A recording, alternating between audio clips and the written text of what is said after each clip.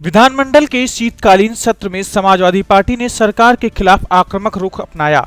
इस दौरान सपा के दोनों सदनों के सदस्यों ने नागरिकता संशोधन कानून, बेरोजगारी, महँगाई, महिलाओं पर हो रहे अत्याचार और गन्ना, धान सहित आलू किसानों की समस्याओं को लेकर योगी सरकार पर जमकर निशाना साधा।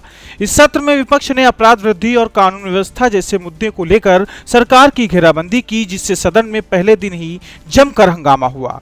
सदन की कार्रवाई सुचारू और व्यवस्थित ढंग से चलाने के लिए सर्वदल बैठक में एक दिन पहले ही विधानसभा अध्यक्ष ने सभी दलों के नेताओं से सहयोग का आग्रह किया था, जबकि विपक्ष ने सरकार की कार्यशैली पर ही सवालिया निशान खड़ा कर दिया। इस दौरान कांग्रेस सहित बसपा और सपा के सदस्यों ने जमकर हंगामा किया और वेल में आकर तख्तियाँ लेकर सरकार के खिलाफ नारेबाजी भी की, जिसकी वजह से सत्र को कई बार स्थगित भी करना पड़ा।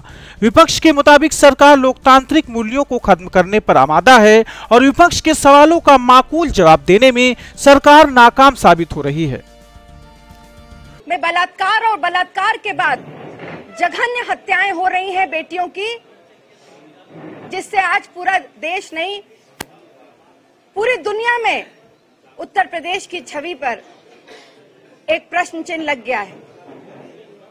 उन्नाव की घटना ले ले, मैनपुरी की घटना ले लें, संभल की घटना ले ले हर तरफ़ बेटियों के साथ बलात्कार हो रहा है और उनको ज़िंदा जला दिया जा रहा है। अभी कल भी उन्नाव में एक बेटी ने एसपी ऑफ़िस के सामने अपने आप को आग लगा ली। आज वो अस्पताल में है। लगातार कांग्रेस पार्टी संघर्ष कर रही है सड़कों पर। हम सिर्फ़ इतना चाहते थे कि आज इस पे चर्चा हो।